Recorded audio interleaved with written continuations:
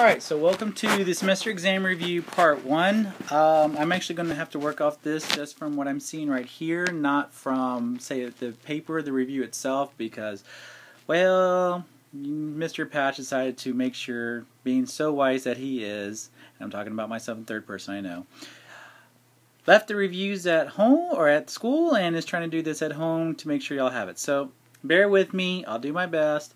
We will go through it more and I'll answer questions tomorrow if you need be. Okay, and I will continue and try to do some more questions tomorrow. Okay? So here's number one. Number one says put it in the correct order. So we put it in order from highest exponent to lowest. That would be standard form. So negative 8x to the fourth plus 6x cubed plus 5. Your leading coefficient is the number that's in front. So once you put it in order, your leading coefficient is the one in front. The degree is the exponent terms one, two, three. Okay, so this is a quartic trinomial. I also gave it the name because, well, just in case, you never know. Next question, number two. This is it in correct order. Highest exponent to, to lowest, so x cubed, x squared, x, no x, or number. And then again, the first term, no matter what, is the leading coefficient. The degree is the highest exponent. One, two, three, four terms. This would be called a cubic polynomial. And this both these questions are found in 6.1, so you should be able to find those in 6.1. Okay, so continuing on, here are your answers for 3, 4, 5, and 6. Okay, 3, number 3, all you got to do is add. You're combining your like terms. So, you know, there I was saying um, 12 plus 3 was 15. 4 minus 8 was negative 4, and negative 9 plus 18 was 9. Uh, number 21, subtract, but when you subtract, you basically are changing the sign. So kind of keep in mind, you can go plus, and then change the sign of everything in the second column, or in the second parentheses, and then just combine your like terms. And that's the answer that you should end up with. Number 5, you're just doing distributive property. And then number 6, uh, you're just, again, I would do distributed property, torpedoes and missiles, whatever helps you. FOIL, vertical multiplication, however you want to do it. Uh, just, you know, whatever it would be best. And if, again, if you have questions on those, you know, let me know. Okay, number seven. Actually, I'm going to walk you through this one, so let me back that up a little bit. There's the problem. Okay, so we got 4x plus 7 divided, or 8x cubed plus 2x squared minus 25x minus 9 divided by 4x plus 7. The way I look at it is this. Take the lead term, the 4. What's 8 divided by 4? 2. So that's where I write that. Okay, and then you've got x cubed divided by x. Just subtract. x cubed minus 1x, 3 minus 1 is 2. So this would be x squared. Then take that number and multiply it. 2x squared times 4x would give me 8x cubed. That those two should always match, okay, because they're going to cancel out. 2 times 7 is 14, x squared. Then in division, you always subtract. So the next step would be change your signs and subtract. 2 minus 14 is negative 12, x squared. Now, negative 12 divided by 4 is negative 3. Oh, and bring down the 25x. Sorry, forgot about that. Okay, so negative 3, x. Again, if it was x squared, the next one should be x. Negative 3 times 4 is negative 12x squared. Negative 3 times 7 is negative 21x. Change your sign. Combine the terms or subtract. Well, by changing sign, that puts us into subtraction. Okay, so negative 25 plus 21 would be negative 4. x minus 9. Negative 4 divided by 4 is negative 1 then multiply, change your signs, and that final number ends up being your remainder. And the way you could write your remainder is like this, minus 2, uh, negative, plus negative 2 over 4x plus 7, or minus 2 over 4x plus 7, however you want to. But that's basically about it. Um, not too hard. Okay, synthetic division, the x minus 2, you're going to change to a positive 2 and then have three for three, four, 0 because there is no x, and then negative 8. Then you just go through. Bring down the first number. 2 times 3 is 6. 4 plus 6 is 10. 2 times 10 is 20. 0 plus 20 is 20. 2 times 20 is 40. Combine, 32, you're good. There you go. 3x squared plus 10x plus 20 plus the 32 over x minus 2. Okay, that's all you got to do. Number 9 goes the same way. The only difference there on number 9 is that you've got to make sure that um, you don't change the sign because it's not in parentheses. So it's going to be negative 2. Then you write the numbers. Then you go through the same thing. But this is synthetic substitution. So all you care about is the number at the end, the remainder. That's your final answer. So this one is 41. The answer is 41. Now again, all I did was bring down the negative 2, multiplied, combined, multiply, combine, multiply, and combine. Okay, so again, it's multiply, bring it up here, combine, okay, multiply, combine, multiply, and then combine. Uh, so let's move on to the next one. Factor by grouping. With factor by grouping, we want to make sure we put them in parentheses. and again, if this is going too fast, folks, just rewind, pause it, do whatever you need to to make sure you got time to understand. Okay, so we put the first two in parentheses, and we put the last two in parentheses. Then you look, okay, what the, what is the biggest number that can divide into 2 and 12, which is 2. So then I write a 2. Then whatever is the lowest number, let's say the lowest x in the parentheses, that's what you're taking out. So I see an x squared, I'm taking out an x squared. So 2 divided by 2 is 1.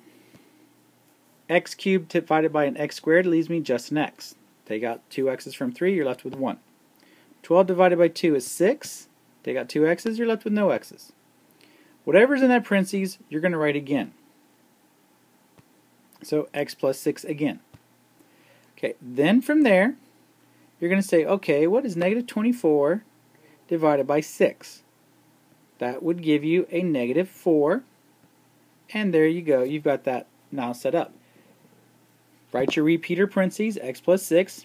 The numbers that were outside, put them together in one parentheses, 2x squared minus 4 then you see if you can factor it further. In this case, I can take out both of the take out a 2 out of that second parentheses.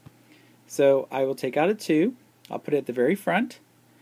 2 divided by 2 leaves me just x squared. 2 divided 4 divided by 2 leaves me a negative 2. Okay? And that's my final answer right there. Any questions? Again, feel free to ask, let me know, so on and so forth. You know, this is here for your your benefit. Okay? So let's make sure we got that. Okay, the next problem, same idea, same thing. You're going to put the first two in parentheses, and then you're going to put the last two in parentheses, and then you're going to try to take out what you can. The first one, I see a 4 x squared, so I take that out. That leaves me x plus 3. Write x plus 3 again. 36 divided by 3 is 12. So, I divided there, combine, write my repeater, x plus 3, combine the other two, 4x squared plus 12. And I should be able to tell there that the second one I can take out a 4 because both 12 and 4 are divisible by 4. So I take out the 4 and I'm left with x plus 3 and then x squared plus 3 because all I took out was the 4. So there's that problem. That's your final answer. Um, those are some of those you could practice with a little bit. You know, shouldn't be hopefully that bad. Number 12. Okay, number 12, here's what I would recommend go ahead and graph it. First things first, graph it. Then you can see here, this was raised to the fourth power. x to the fourth power. I don't remember the full point of it, but it's raised to the fourth power. That means I should see four answers. One, two, three, four. So you got four answers right there. I would use that to my advantage. So based on what it looks like, it looks like you can see a 3, 1 half, negative 1, and negative 2. If you're not sure, remember, graph and then choose graph trace? Or actually, is it trace and then graph trace? Okay, so you're looking for that on your menu. If you can do that, you should be okay. It should help you find the answers. Using the multiple choice, that should be more than enough. Um, I really wouldn't worry about the synthetic division. I think that's your best bet. So you might want to make sure you remember that. That is about the trace and the graph trace. And we can double check that on the calculator later. So, you know, make sure to ask questions about that.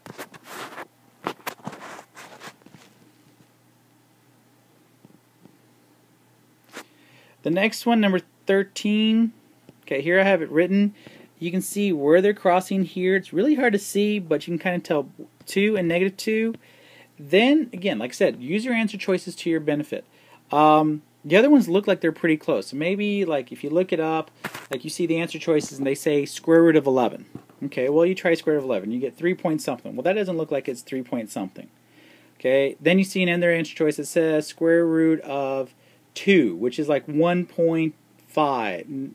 Not even, yeah, like maybe 1.4 or 1.3, which is still doesn't look that close because it would be closer to 1.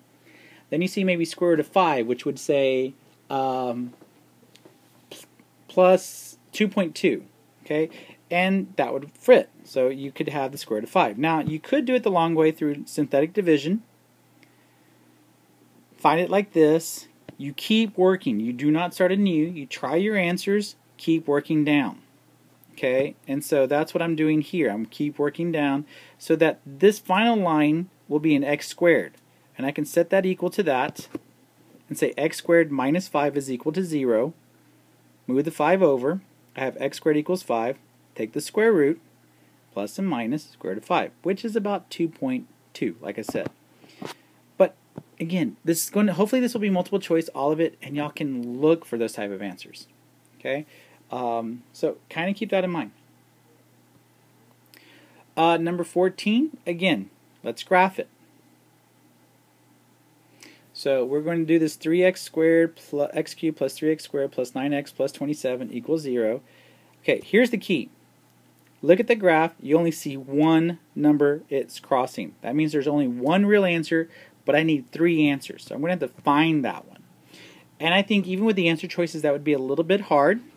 So let's try this. We do the x, the negative 3, 1, 3, 9, 27.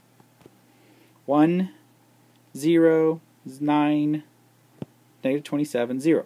Okay, realize that that was x cubed, this is x squared. So we have x squared plus 9 equals 0. Now we have x squared equals negative 9. Then you take the square root. Now keep in mind the square root of 9 is 3, but because of that negative we will put plus and minus 3i. Okay, don't forget, every time you see a negative square root, it's an i. Okay, then we're at number 15, same thing. Let's fast forward that a little bit. You can see it crosses two places, so that means I have two answers. Real, I'm going to have to find two imaginary answers, and it looks like it's at 3, negative 3, and 5. And again, go through the synthetic division. So I'm writing this all out for synthetic division. I'm going to do the negative 3. And again, I should have an answer of 0 if I do all that right. Which it looks like that's what I'm going to get. Okay, so here we go. That's a 0. Then from there, do the 5. And y'all can see there, that leaves me x squared plus 1 equals 0. Subtract 1, I get x squared equals negative 1. Take the square root. Square root of negative 1 is just plus and minus i. So there you go, or 1i. So there are my four answers. One, two, three, four. And again, if you have any questions on that, feel, feel free to ask. All right, so then we're at number 16. Now, number 16 gives you three possible or three roots. Okay, that means they're all real roots. There's no i, there's no square roots. So go ahead and use those. x, x, x. Three x's, three roots.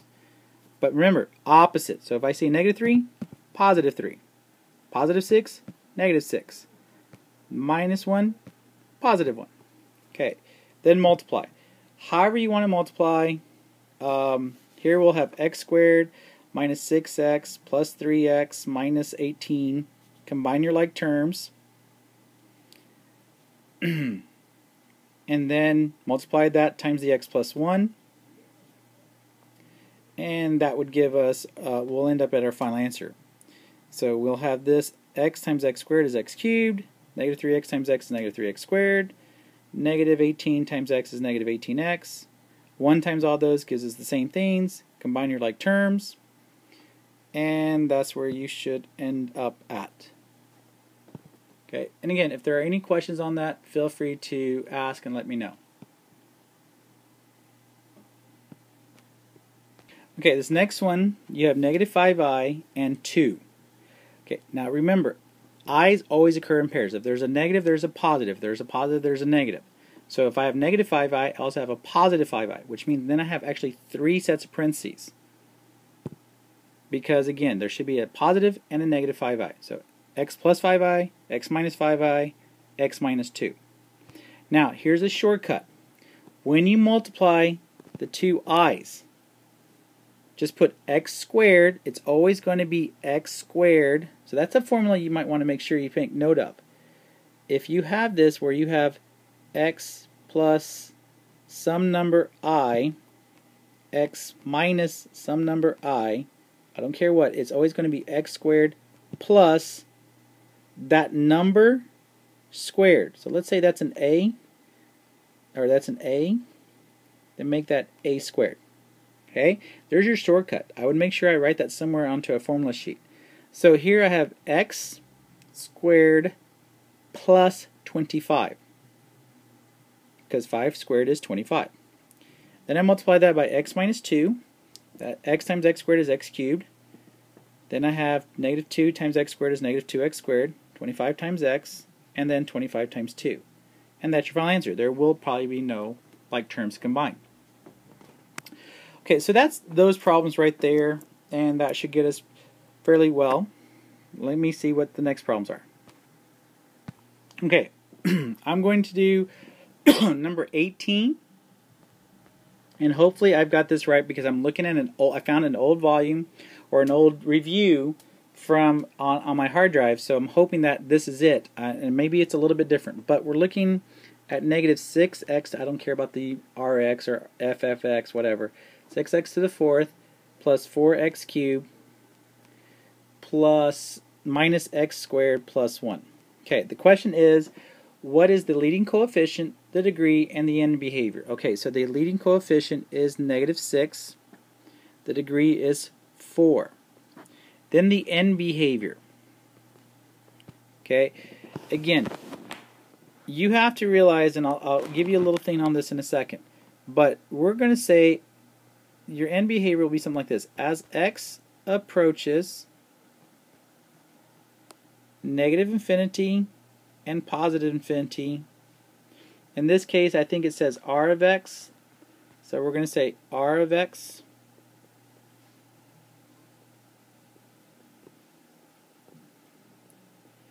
Okay, what does it approach? Well, keep in mind, this is an even degree and it's negative.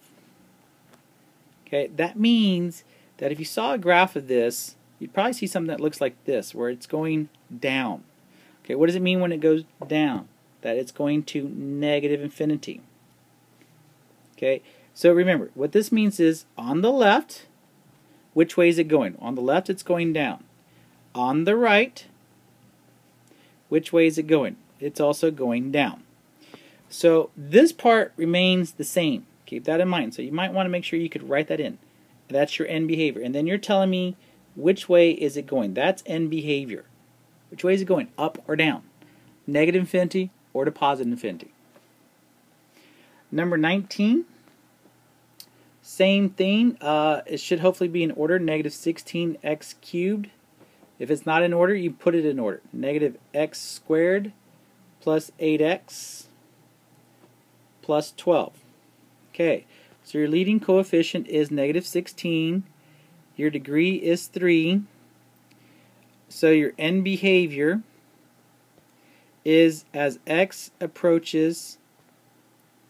Okay, this part doesn't change. This actually usually is already written for y'all. Okay, and then this is q of x according to what I'm looking at here. Maybe it's different, I don't know. Okay, and again, if you needed to, you look at the graph. Now, if you looked at this one, you would see a graph, I would think, that might look something like this. Okay, well, as I'm on the left side, which way is this going? It's going up. That means it's going to positive infinity. On the right side, I'm going down to negative infinity. And there you go. That's all that means. That, that's how easy that question is. Okay, I think that's a good place. We finished up chapter 6 right there. That's a good place to stop. I will make that part 1, and then we'll see about doing part 2, where I hope to get through chapter 7 and maybe even parts of 8. Okay, uh, that's that for that. And if you have any questions, feel free to ask. Thank you so much.